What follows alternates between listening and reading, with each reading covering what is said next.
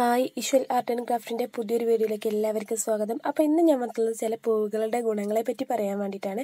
അപ്പോൾ വീഡിയോയിലേക്ക് പോകുന്നതിന് മുമ്പ് എന്റെ ചാനൽ നിങ്ങൾ ആദ്യമായിട്ടാണ് കാണുന്നതെങ്കിൽ ഇതുവരെ സബ്സ്ക്രൈബ് ചെയ്തിട്ടില്ലെങ്കിൽ ഉടൻ തന്നെ സബ്സ്ക്രൈബ് ചെയ്യുക. തൊട്ടടുത്തുള്ള ഒരു ബെല്ലൈക്കൺ കൂടി എനേബിൾ ചെയ്യുകയാണെങ്കിൽ ഞാൻ ചെയ്യുന്ന എല്ലാ വീഡിയോയുടെയും നോട്ടിഫിക്കേഷൻ നിങ്ങൾക്ക് ലഭിക്കുന്നതാണ്.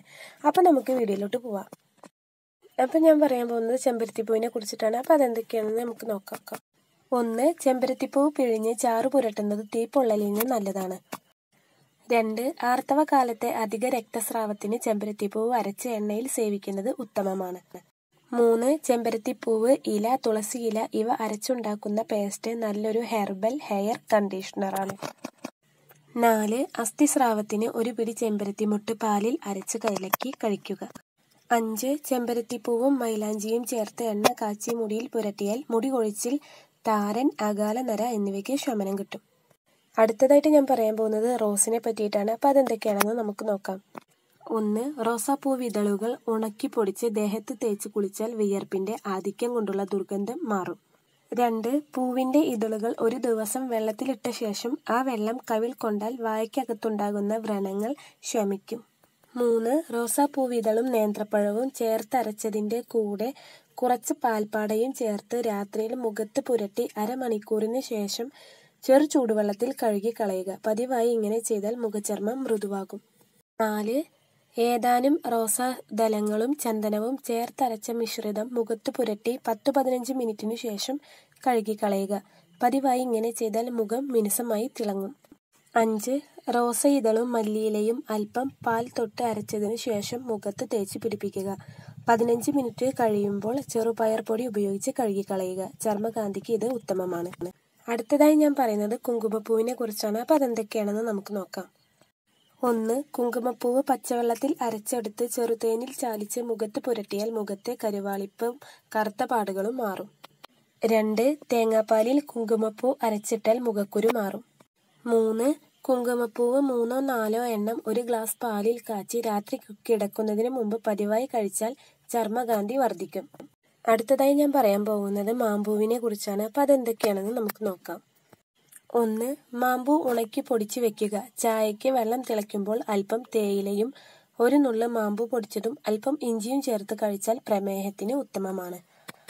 രണ്ട് മാമ്പൂവ് കഴിക്കുന്നത് കൃമിയെ ഇല്ലാതാക്കും. വായ്ക്ക് രുചിയും ഉണ്ടാകും. അടുത്തത് നന്ദ്യാർവട്ടാണ്. അതെന്തൊക്കെയാണെന്ന് നമുക്ക് നോക്കാം. ഒന്ന് നന്ദ്യാർവട്ടത്തിന്റെ പൂ വരച്ച് നീരെടുത്ത് കണ്ണിലൊഴിക്കുക. കണ്ണിലുണ്ടാകുന്ന ചതവ് മുറിവ് പോറൽ ഇവയ്ക്ക് നല്ലതാണ്. രണ്ട് ചെങ്കണ്ണിന് നന്ദ്യാർവട്ടപ്പൂവ് ഏറെ നേരം വെള്ളത്തിലിട്ട് ആ വെള്ളം കൊണ്ട് കണ്ണ് കഴുകുക. അടുത്തതായി ഞാൻ പറയുന്നത് തുമ്പപ്പൂവിനെ കുറിച്ചാണ്. അപ്പോൾ അതെന്തൊക്കെയാണെന്ന് നോക്കാം. ഒന്ന് വയറുവേദന കൃമി വിര തലവേദന മുറിവ് കുട്ടികൾക്കുണ്ടാകുന്ന ഉദര രോഗങ്ങൾ ഇവയ്ക്കെല്ലാം തുമ്പച്ചാറ് ഉത്തമമാണ്. കുട്ടികൾക്കുള്ള ഉദര രോഗങ്ങൾക്ക് തുമ്പച്ചാറ് തേൻ ചേർത്ത് കൊടുക്കും. രണ്ട് തുമ്പപ്പൂവ് ചതച്ച് ഇന്തുപ്പ് ചേർത്ത് രണ്ട് കണ്ണിലും ഇറ്റിക്കുക. കണ്ണിലെ ചതവ് മുറിവ് പോറൽ എന്നിവയ്ക്ക് ഉത്തമമാണ്. മൂന്ന് തുമ്പയുടെ പൂവും ഇലയും കൂടി ഇടിച്ച് പിഴിഞ്ഞ നീരിൽ അല്പം പാൽക്കായം ചേർത്ത് മൂന്നോ നാലോ തവണ കഴിച്ചാൽ വിരശല്യം തീരും. നാല് തലവേദനയ്ക്ക് തുമ്പയുടെ തളിരിലയും പൂവും കൂടി അരച്ച് നെറ്റിയിൽ അടുത്തത് ചെത്തിപ്പൂവാണ്. അതെന്തൊക്കെയാണെന്ന് നമുക്ക് നോക്കാം. ഒന്ന് ചെത്തിപ്പൂവ് ചെറുപയർ മഞ്ഞൾ എന്നിവ ഉണക്കി പൊടിച്ച് ശരീരത്തിൽ പുരട്ടുക. അല്പം കഴിഞ്ഞ് കുളിക്കുക. ദിവസേന ഇങ്ങനെ ചെയ്താൽ ശരീരത്തിന് സൗന്ദര്യം കൂടും. രണ്ട് ചെത്തിപ്പൂവ് ജീരകം ചുവന്നുള്ളി എന്നിവ സമമെടുത്ത് ചതച്ച് നീര് കണ്ണിൽ പിഴിയുക. കണ്ണിലെ ചതവ് മുറിവ് പോറൽ ഇവയ്ക്ക് നല്ലതാണ്. മൂന്ന് അഞ്ച് ചെത്തിപ്പൂവ് അകത്തെ നാരു നീക്കി നൂറ് മില്ലി വെള്ളത്തിൽ തിളപ്പിച്ച് ആറിയ ശേഷം പൂവ് മാറ്റി വെളുത്ത ശീലയിൽ അരിച്ച് രണ്ട് കണ്ണുകളിലും രണ്ടോ മൂന്നോ തവണ ഒഴിക്കുക. കണ്ണിലെ ചുവപ്പ് പൊരിച്ചിൽ ഇവ മാറും.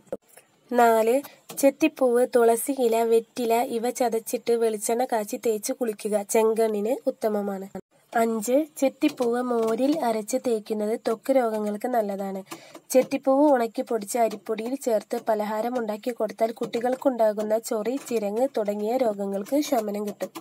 ആറ് മുഖക്കുരു രക്തദൂഷ്യം വ്രണം എന്നിവയ്ക്ക് ചെത്തി നല്ലൊരു ഔഷധമാണ്. ഏഴ് ചെത്തിപ്പൂവ് രണ്ടിടങ്ങഴി വെള്ളത്തിലിട്ട് വറ്റിച്ച് നാഴിയാക്കി പിഴിഞ്ഞെടുത്ത് ഇരുപത്തഞ്ച് ഗ്രാം വെളിച്ചെണ്ണ ചേർത്ത് പുരട്ടി കുളിച്ചാൽ ദേഹത്തിന് നല്ല നിറവും ഭംഗിയും കിട്ടും. എട്ട് ചെത്തിപ്പൂവ് അശോകപ്പൂവ് രക്തചന്ദനം മഞ്ഞൾ മരമഞ്ഞൾ തൊലി കാവിമണ്ണ് മഞ്ചട്ടി നെറുനണ്ടിക്കിഴങ്ങ് വാഗപ്പെട്ട ഇവ തുല്യ അളവിലെടുത്ത് ഉണക്കി പൊടിച്ച് മോരിലോ കഞ്ഞിവെള്ളത്തിലോ കാടിവെള്ളത്തിലോ കുഴച്ച് ദേഹത്ത് തേച്ച് കുളിക്കുക. ത്വക്ക് രോഗങ്ങൾക്കും ത്വക്കിന് നിറം കിട്ടാനും വളരെ നല്ലതാണ്. അപ്പോൾ ഇന്നത്തെ വീഡിയോ നിങ്ങൾക്ക് എല്ലാവർക്കും ഇഷ്ടമായിട്ടുണ്ടായെന്ന് വിചാരിക്കുന്നു. അപ്പോൾ വീഡിയോ ഇഷ്ടമായെങ്കിൽ നിങ്ങൾ ലൈക്ക് ചെയ്യുക ഷെയർ ചെയ്യുക കമന്റ് ചെയ്യുക സബ്സ്ക്രൈബ് ചെയ്യുക. താങ്ക്